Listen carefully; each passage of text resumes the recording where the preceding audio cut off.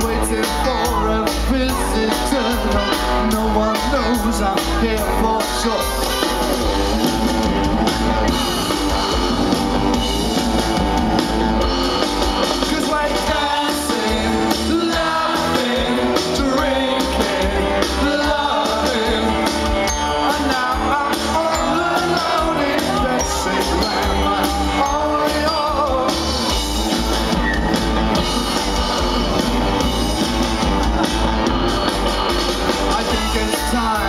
to cook your meat